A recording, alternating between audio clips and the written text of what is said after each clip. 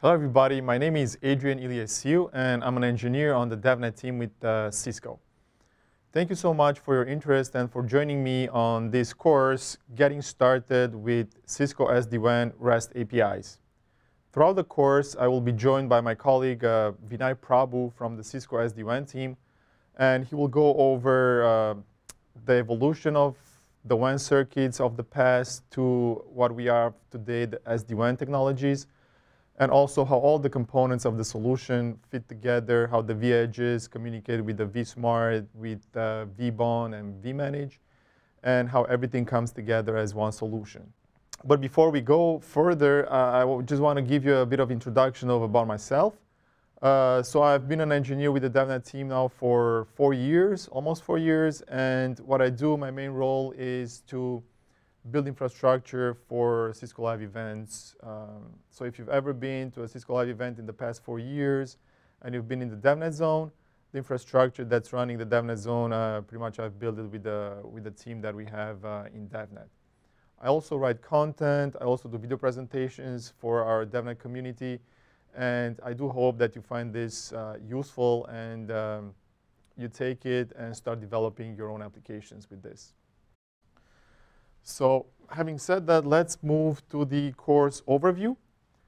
The audience for this course are all network engineers, network administrators, and architects that want to improve their skills to see how the SD-WAN fabric works and how they can start interacting programmatically with the fabric and start developing or taking advantage of the REST API that the SD-WAN solution provides.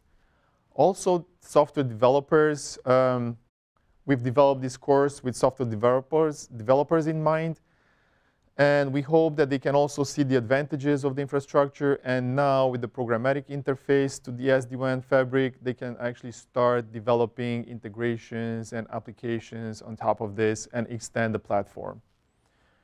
The main goal of our course is to introduce everybody to the Cisco SD-WAN REST APIs, to show you um, where you can find documentation, how you can start interacting with it, how to develop applications, and start integrating this with third-party tools. What's in scope for this course? We want to explore the REST API.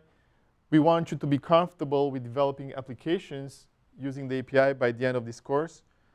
And you'll also be able to build your own Python scripts. And if you want to follow along, we'll go through a Python application that we developed that will attach and detach configuration templates from specific devices. So we'll take you from zero to developing your own applications by the end of this course. And then also, we would like to show you the Cisco SD-WAN sandbox and the sandboxes that we have uh, readily available for you 24-7, 365 all throughout the year. Free cost, all you have to be is a DevNet member to have access to them out of scope for this course. We're not going to go into detailed product explanations. So there are additional courses for this for you, uh, several other courses that cover this into uh, great detail of what the components are, and they're more geared towards teaching you on how the product works. For this specific course, we want you to be to become familiar with the Cisco REST API and start developing uh, and start using it to integrate with, with third-party solutions. We also are not going to cover advanced API topics in this. This is a getting started course. Uh, so we're not going to go into uh, advanced policy configurations or automatic control plane bring up or, or any of that. The requirements for the course, you just have to have like basic Python programming, scripting knowledge, um, and a bit of Cisco SD-WAN uh, knowledge. But if you don't have this, don't worry. We'll, we'll start pretty much from zero. So the expectations are not that you, are, you know anything at this point. So we'll take it from pretty much from zero. Okay, so that's the course overview. In this part of the course, I also want to mention the sandbox that we will use. So the DevNet sandbox, if you're not familiar with it, is an environment created specifically for our DevNet community to be able to take advantage of test environments, environments that they can start interacting with right away. The link for it is right here, devnetsandbox.cisco.com. For this specific course, we've set up a sandbox called Cisco SD-WAN. And actually, let me go and show you in the browser. So if I open my browser, I'm logged in here with my account on the devnetsandbox.cisco.com. And once you log in, this is the page that you get access to. You can see that we have 66 sandboxes at this point, and we keep adding more and more pretty much on a weekly basis. So keep an eye on this. There's anything from ACI and Kubernetes sandboxes to ACI simulators to CI/CD pipelines to blockchain. So it's not only Cisco technologies, is Cisco, third party, whatever technologies we think are interesting for, for our community. So Cisco Container Platform, um, really collaboration, sandboxes, um, DNA Center, security sandboxes, uh, Kinetic, IoT, and a large number of sandboxes. But for our course today, I actually want to go into the Cisco SD-WAN. So we click on it,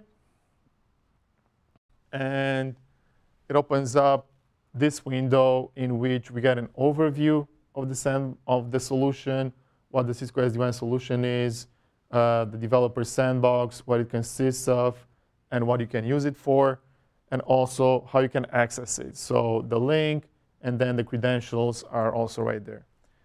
This is an always-on sandbox, so it's available 24-7. Uh, this specific user that we have set up here is with limited privileges because it can be used by anybody at any point.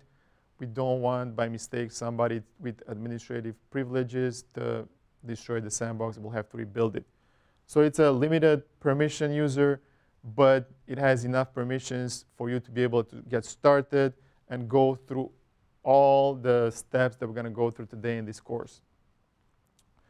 So going over the architecture a bit, we see here we have a CA server, a certificate authority server. We have a vSmart, a vManage, and then a vBond. All of them are connected to four vEdges, which are representing our branches or our remote sites. So they're all connected through VPN 0, which is the transport network.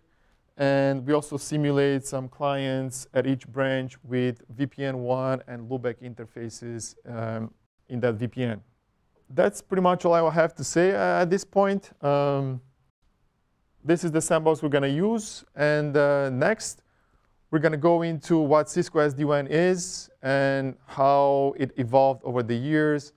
And my colleague Vinay, like I said, will cover this in more detail in the next course. Thank you so much for watching, and I hope you find this course very informative. Thank you.